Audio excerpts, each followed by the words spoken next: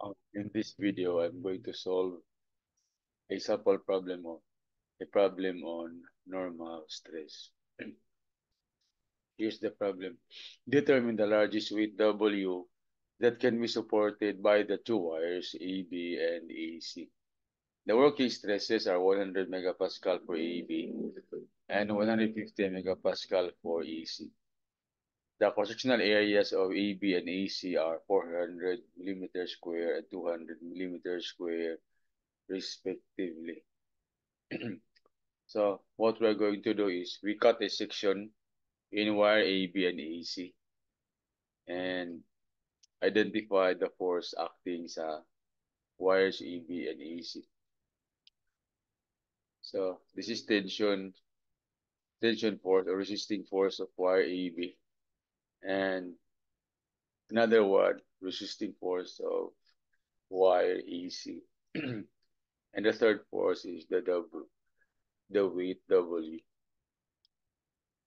So to apply conditions of equilibrium, the forces are concurrent. So therefore, we can only use two conditions. Summation of force horizontal and summation of force vertical. So what we're going to do is we get components of TAB and TAC. So this is TAB X or TAB cosine of 30. And then this one, TA, a TAB Y component or simply TAB sine of 30 degrees.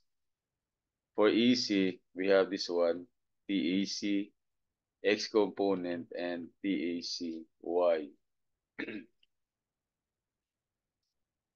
so first condition, we sum up force uh, horizontal. And there are only two forces. TACX, X component is cosine 45 and for AB it's cosine 30. We have this one.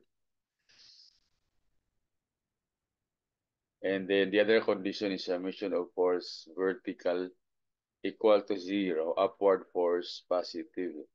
We have this one, TACY and TABY positive, and W negative. so we have two unknowns, TAC and TAB. So let's use uh, let's use a calculator. So instead of method of elimination, let's really use a calculator. So we have these two equations. Now, when you when you use a calculator, uh, assume W as 1 and then sa value sa TAC and TAB, you just attach W para pag-input. So, I'm using this model Casio. So, mode 5, mode 5. So, you press yung 5, that's equation. You press 5, equation, and equals 5.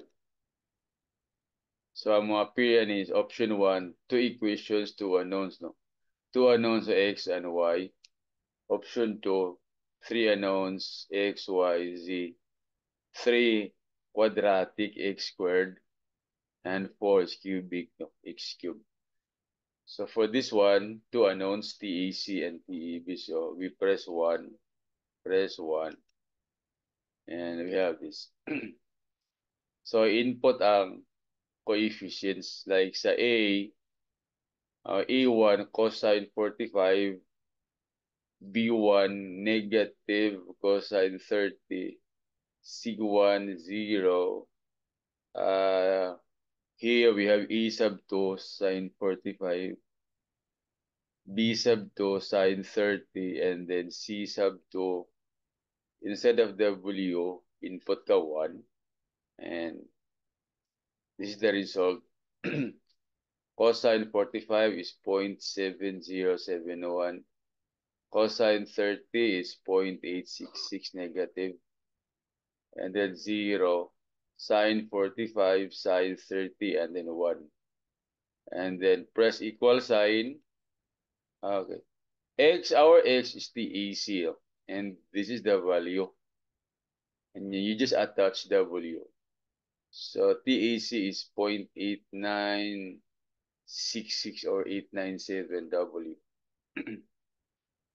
and then present side equal sign, that's our Y or TAB, 0.732 of W.